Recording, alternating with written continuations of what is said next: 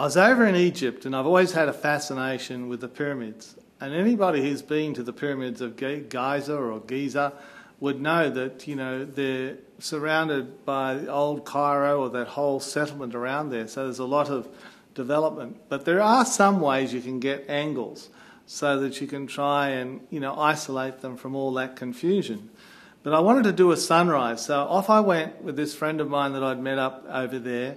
And um, we had to pay a little bit of money to some of the guards to get through and to be allowed in. But we finally got there. Anyhow, we're sitting there waiting for the sunrise, and there was just this mist that came in.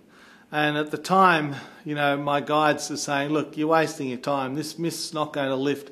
And I thought, No, no, let's just wait, just wait. And what was great about the mist, it just covered everything, including old Cairo in the background or Gaza, the, the settlement there.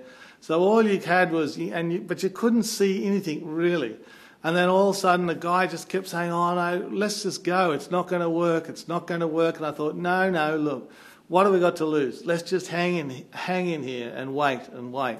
And so we waited. Then all of a sudden, the sun just broke through just a little bit, and the cloud all of a sudden parted.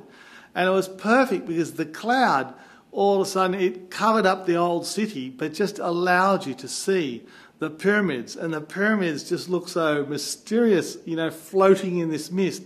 And it's as if you were there thousands of years ago because you don't see the influences of humanity. It just looks like what it may have been like many, many years ago. So that's what was so fascinating. So sometimes when you think it's time to give up, don't give up. Just hang in there because often they're the most mysterious and incredible shots you're ever going to get.